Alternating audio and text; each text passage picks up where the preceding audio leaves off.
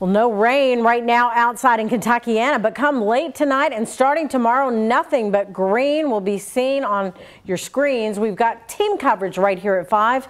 Ian Hardwick is traveling across Louisville and the city and MSD prepares for heavy rain tomorrow. Jose Alonso is live at Louder Than Life. Organizers do have a severe weather plan. But first, it's Chief Meteorologist Ben Pine.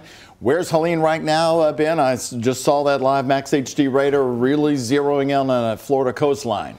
Getting very close to Florida, only about 100 miles out to the west of Tampa right now, at about 180 miles to the southeast of Pensacola, heading right to that Big Bend region of Florida, uh, basically where the panhandle ends and where the peninsula begins. And that landfall is going to be a little bit later on this evening. And then uh, that heavy rain is going to be stretching our direction. Right now, the rain is light to the east and a few thunderstorms out to our west. So enjoying the last moments of some quiet weather around our area before all that rain that's in eastern Kentucky attached and swirling into Helene begin to move our direction. So as we zoom in a little bit closer to home here, we do have a wind advisory that kicks in 7 a.m. tomorrow, lasts all day long. Could have some wind gusts around 40 to 50 tomorrow afternoon, especially, and that could cause some spotty power outages, maybe some tree limb damage. And then along and south of the parkways, we've got a flood watch where we could see two to four inches of rainfall, rising rivers, creeks, and streams, and lowland flooding will be possible tomorrow and into Saturday. That flood watch begins this evening at 8 p.m. and continues into Saturday morning. Here's the light rain spreading in from the east. Uh, this is after sunset around 9 p.m. More widespread, heavier pockets of rain through the overnight hours. Uh, the winds start to pick up tomorrow morning and may want some extra time hitting those wet roads and the soggy conditions out there tomorrow morning. Gustier conditions tomorrow afternoon with still some heavy rainfall, basically a washout for your Friday with that all day rain, heavy at times, and some of the strong winds that we're going to have so good. Could have some tree limb damage out there. Grab that rain gear. Uh, attentive and careful driving with those really windy conditions and watch out for some of that flooding.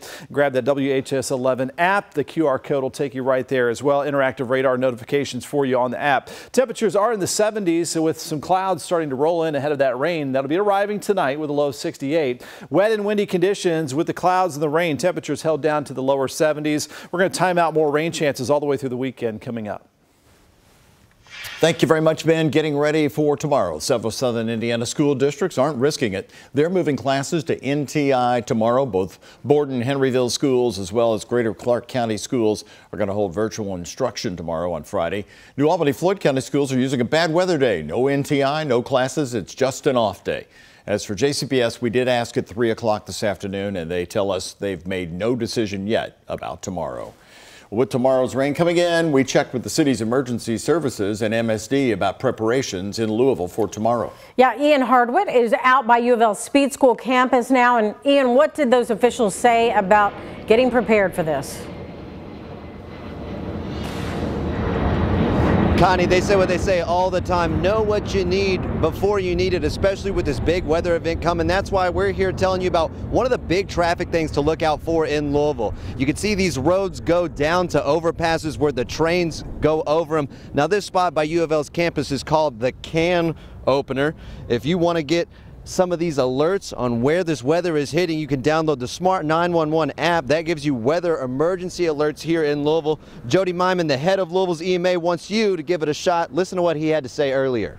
Prepare now. There, there's going to be a lot of rain and a lot of wind. So obviously turn around, don't drown. We don't want to have to get anybody out of any kind of flooded roadways. Um, but you know, prepare your house as well. Prepare for you know things like power outages. Um, you know, never run generators in or around your house. Whether you're enjoying the thunder and mud from Louisville's largest rock festival or the comfort of your home, Friday's storms are coming. We don't want people to prepare as it's coming in. We want them to take a look at the things that can impact them now. MSD operates off that advice. So we're ready. Before Thursday's mild weather, the sewer district finished their preparations for Hurricane Helene's leftover deluge. We've known this is coming for a while, so the crews have been out. They've completed all their pre-rain event checks. They'll check things like the viaducts and drainage channels um, with that have an overpass over them. So if there's any like limbs and things that have caught that they'll clear those so that that water can flow on through. That rainfall washes out the sewers, keeping down the smell of the aging system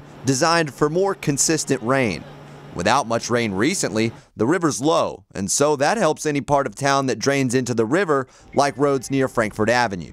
But when the rain starts, things can move like trash, leaves, uh, limbs, and things can move, and that can go into place and can clog something up. So they've cleared what they can, and we're ready.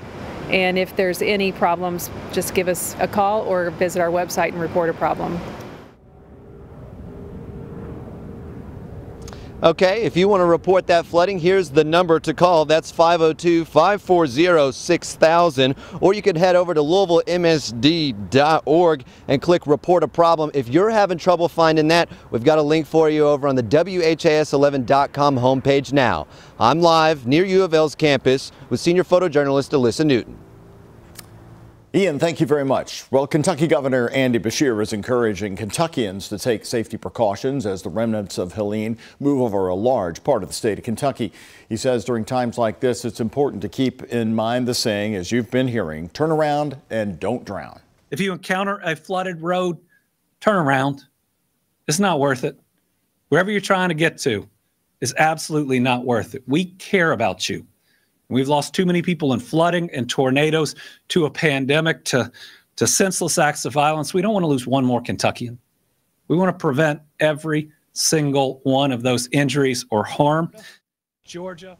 At the moment, the governor has not declared a state of emergency for Kentucky, but says search and rescue teams are right now on standby.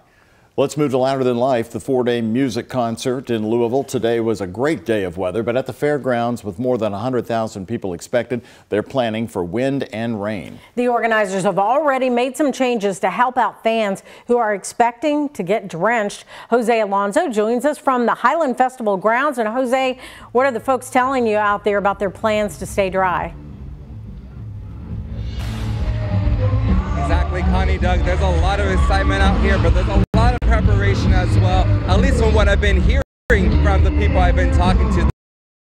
Rain jackets and even towels on standby, but oh, thankfully right now it's not raining quite yet. But take a look at what we got going on right over here.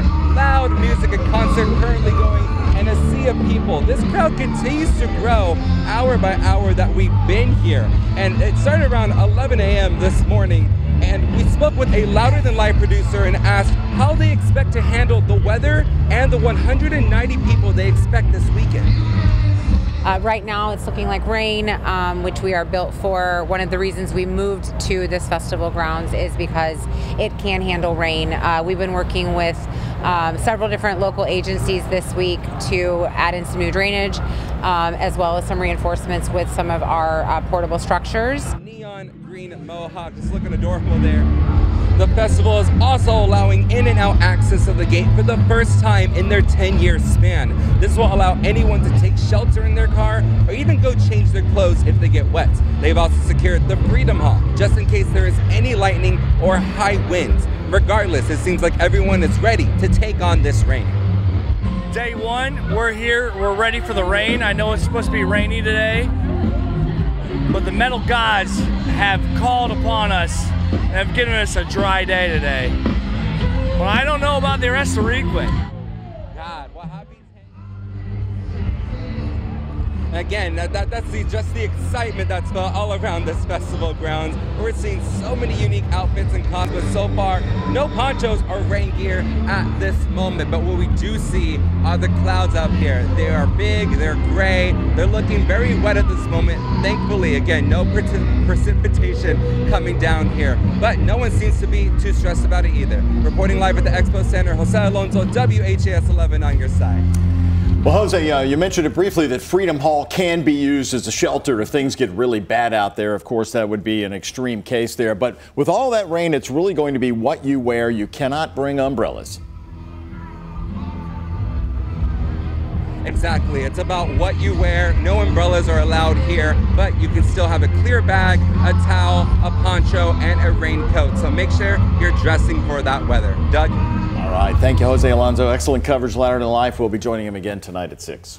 And as Helene continues to move north, we want you to be weather aware for the latest developments as it impacts Kentuckiana. Just download the WHAS 11 News app. We'll send you updates right to your phone.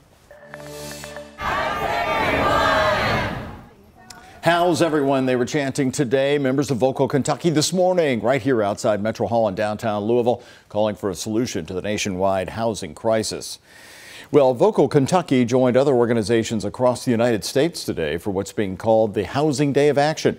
Standing right outside the heart of Metro government included District 3 council member and Vocal Kentucky's executive director, Shameka Parrish Wright. She pointed out that Louisville's own crisis continues to grow because the city itself doesn't have enough resources available to help those in need. There's so many people who are even on the street with housing vouchers, but there's not enough places for them to rent. And now with the relocation of, of places like Dosker Manor, we know that that housing crisis is going to continue to grow. So we're out here to advocate to keep this issue lit, to make sure that they know that we're going to keep showing up for those who need us. Louisville Mayor Craig Greenberg has a plan to create and preserve 15,000 affordable housing units by the year 2027. The Department of Metro Corrections is raising awareness on the stigma surrounding mental health with officers and their families. It comes on Law Enforcement Suicide Awareness Day, in which the LMDC recognized those gone with a memorial. According to ABC News, about 184 officers nationwide die by suicide every year. Metro Corrections provided resources available to its officers and stressed how work they can do significantly can significantly impact their lives beyond the badge. Working in law enforcement is a considerably taxing career, um, and we here are really appreciative um, and honored to work with people that dedicate their lives to community service. Um, and so we hope that people feel heard, heard and understood and know that events like this are a space to honor them and all the work that they do. Now, if you or someone you know is needing help, remember that the suicide prevention hotline is available 24 hours a day, seven days a week. Just call 988.